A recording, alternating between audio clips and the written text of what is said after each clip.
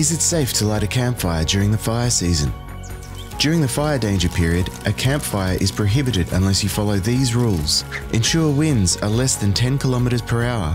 The fire is lit in a properly constructed fireplace or in a trench at least 30 centimeters deep. There is a clearing of 3 meters around and above the fire. The fire is no larger than 1 square meter.